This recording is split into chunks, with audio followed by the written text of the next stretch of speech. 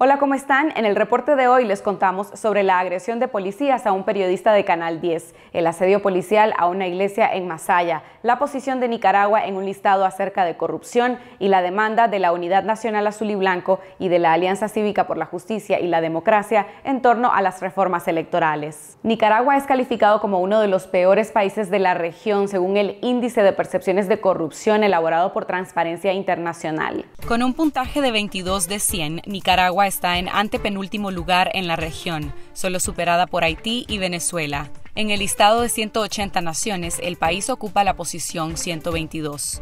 Nicaragua es además uno de los tres países a nivel mundial con un mayor deterioro en su posición en los últimos ocho años, al perder siete puntos desde el año 2012. Hay pocas o nulas consultas sobre las decisiones políticas con grupos políticos, sociales y económicos en el país. La sociedad civil y los partidos de oposición son excluidos sistemáticamente de los procesos de elaboración de políticas, mientras los grupos críticos del gobierno operan en un ambiente cada vez más restrictivo, dice el reporte, que agrega que el malestar social y las violaciones de derechos humanos van en aumento.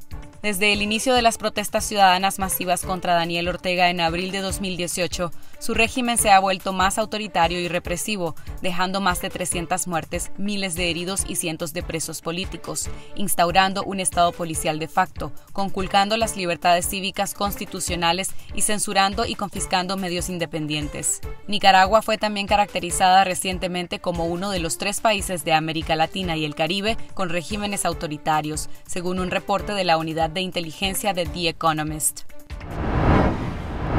La Unidad Nacional Azul y Blanco y la Alianza Cívica por la Justicia y la Democracia llamaron a la realización de reformas electorales incluyentes. Una reforma unilateral que no cumpla con los estándares internacionales no le da legitimidad a Ortega.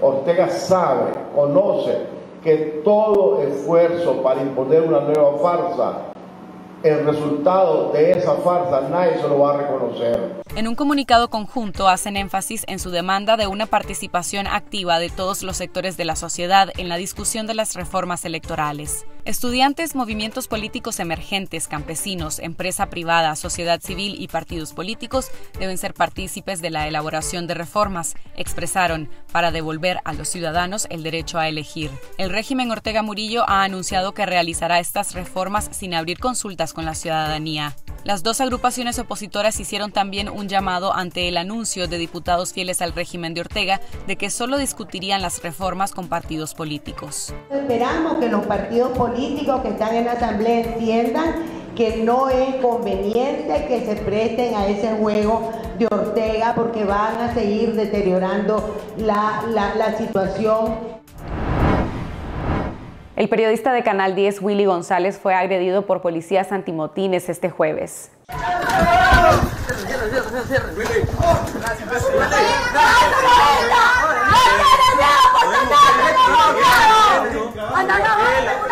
¡Cobarde!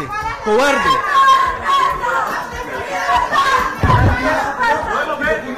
El reportero del canal Independiente se encontraba dando cobertura a una manifestación express contra el gobierno en las afueras de un hotel en Managua. A Narváez, un oficial primero lo golpeó con su escudo y luego otro lo pateó.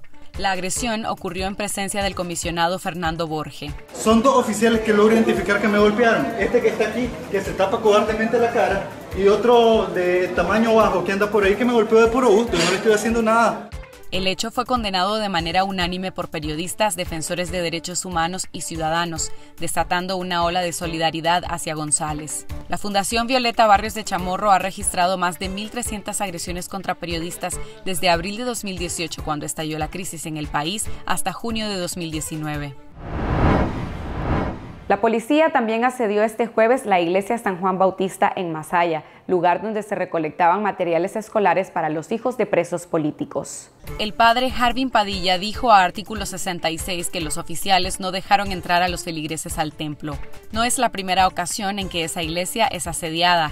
En noviembre de 2019, simpatizantes orteguistas rodearon la iglesia mientras se realizaba una misa en solidaridad con las madres que permanecieron en huelga de hambre por la liberación de presos políticos en la iglesia San Miguel Arcángel en la misma ciudad. En nuestro canal de YouTube les invitamos a ver la más reciente edición del programa Esta Noche, transmitida este miércoles y que abordó el encuentro de Mike Pompeo con miembros de la coalición nacional, la expulsión de los universitarios de la UNAM por parte del régimen y un reportaje que refuta que Nicaragua sea uno de los mejores países del mundo para ser mujer. Eso es todo por ahora. Gracias por haberme acompañado aquí en el reporte de las noticias. Gracias por ver este video producido por esta noche. Los invito a compartir nuestro contenido en las redes sociales y a suscribirse a nuestro canal para apoyar el periodismo independiente en Nicaragua.